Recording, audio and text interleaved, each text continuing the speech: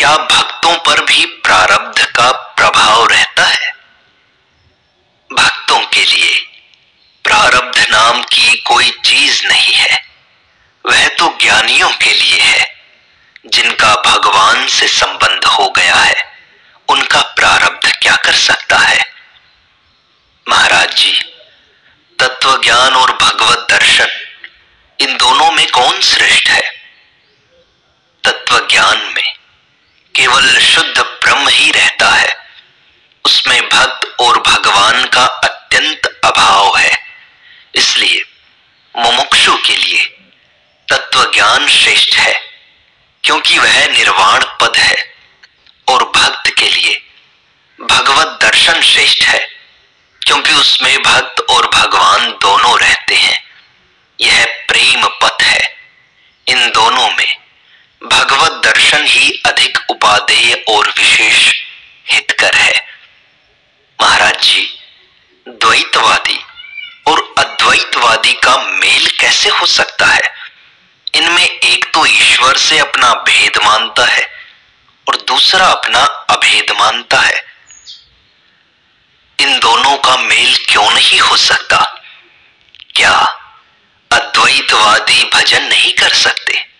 श्री नारद आदि, क्या अद्वैत आदि नहीं है, जो अहरनिश कीर्तन करते हैं? भगवान शंकर ज्ञानियों के गुरु होकर भी रात दिन राम नाम जपते रहते हैं। तथा वशिष्ठ जी अद्वैत के आचार्य होकर भी निरंतर कर्म कांड में लगे रहते हैं। जगत गुरु शंकराचार्य ने भी, देखो, कैसे कैसे सुधार किए। भला अद्वैतवादी क्या नहीं कर सकता? ये बड़े वीर और निर्भय होते हैं। तथा सब कुछ करते हुए भी कुछ नहीं करते। अद्वैतवाद किसी भी चीज़ को बनाता या बिगाड़ता नहीं है। संपूर्ण आभूषण सुवर्ण मात्र है। यह जानने के लिए क्या आभूषणों को बिगाड़ने की आवश्यकता है?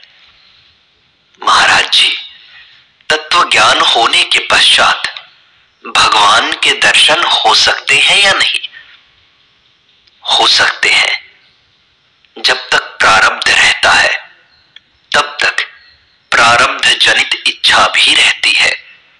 ज्ञानी को भगवत दर्शन की इच्छा होगी। वह उसके लिए प्रारब्ध जन्य मानी जाएगी। निष्काम कर्म या निष्काम भक्ति के बिना तो ज्ञान प्राप्ति हो ही नहीं सकती। और निष्काम भक्ति में जो भगवत ध्यान आदि किया जाता है, वह सकाम न होने पर भी उसमें भगवत दर्शन की कामना छिपी रहती है। निर्वाण पद या मोक्ष की प्राप्ति होने से पहले उसे ज्ञान हो जाता है।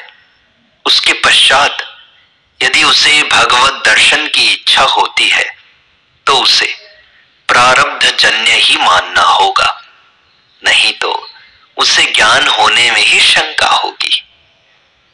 महाराज जी, भगवत दर्शन होते ज्ञान हो जाता है या कालांतर में होता है।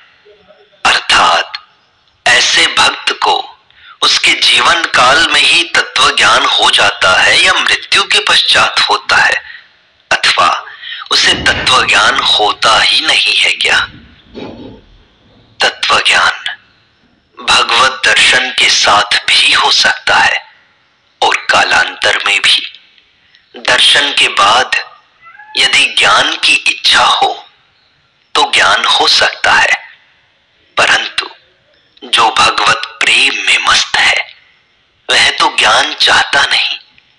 फिर बिना चाहे उसे ज्ञान कैसे मिलेगा?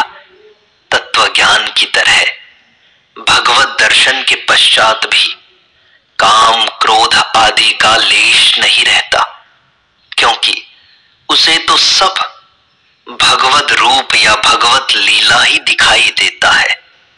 फिर